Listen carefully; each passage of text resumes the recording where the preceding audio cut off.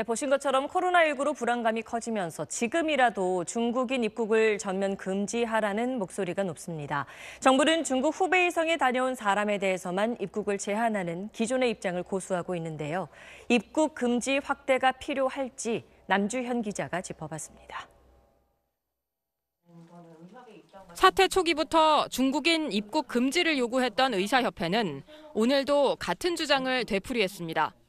위험적인 문을 열어놓고 유증상자들을 검역에서 걸러내는 것으로는 해외 감염을 효과적으로 차단할 수 없다는 아직 지역사회 대유행 단계가 아니라 대구, 경북 등 일부 지역을 중심으로 지역사회 감염이 벌어지고 있기 때문에 해외 유입 가능성을 아주 조금이라도 낮출 수 있다면 막는 것이 바람직하다는 겁니다.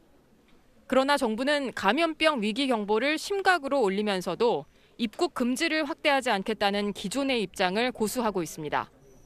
중국인 입국자 수가 평년의 20% 수준으로 떨어졌고 특별 검역을 통해 관리할 수 있다는 판단입니다. 입국 금지를 확대하면 우리 국민의 중국 입국도 막힐 수 있다는 점, 최근 해외 감염 유입 사례가 없었던 점도 고려한 것으로 보입니다. 최근 들어서 해외 유입 사례가 확인된 사례는 어, 현재까지는 없습니다. 최근에 주로 보고되고 있는 환자들은 다 대구 신천지 교회하고 관련된 사례들. 초반부터 중국발 항공편, 중국 방문 여행객에 대해 각각 초강수를 뒀던 이탈리아와 미국의 현재 상황은 전혀 다릅니다. 이탈리아는 확진자가 150명을 넘고 4명이 숨진 반면 미국은 확진자 35명 뿐입니다.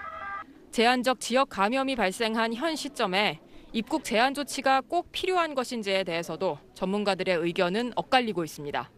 SBS 남주현입니다.